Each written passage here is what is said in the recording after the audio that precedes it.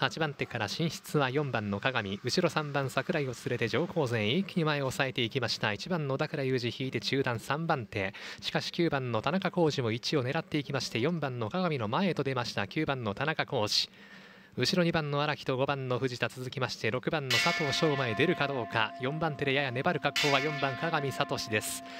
先頭は9番の田中浩二。そして内を狙いかけた4番の鏡ですが行ききれません。後ろ。1番の小田倉裕二は後手に回っています。残り1周の攻防逃げます。9番田中浩二。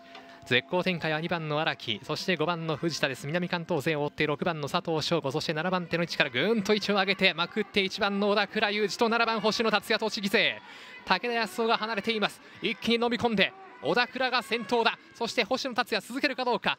抵抗しているのは荒木真也ですが7番の星野2番手に上がった。小田倉裕二ゴールイン2着に7番の星野達也。